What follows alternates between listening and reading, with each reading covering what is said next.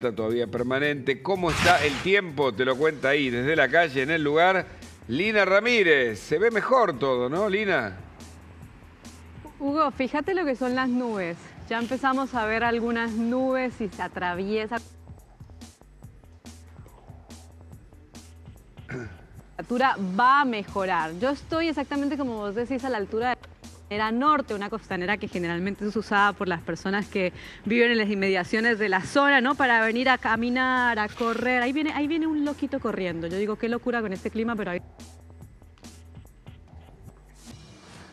La gente hoy, por supuesto, con estas condiciones de clima, eh, no salió. Algunos que empiezan ¿no? ya a darse cuenta de que el agua eh, disminuyó completamente. Ya de hecho estamos, nosotros estamos caminando por esta zona sin paraguas, sin piloto, como podrás ver. Y bueno, la gente... Eh, no a disfrutar, pero a darse cuenta de que puede empezar el día con menos lluvia. Cuando veníamos por la zona de la avenida Costanero Rafael, notamos un choque de tráfico.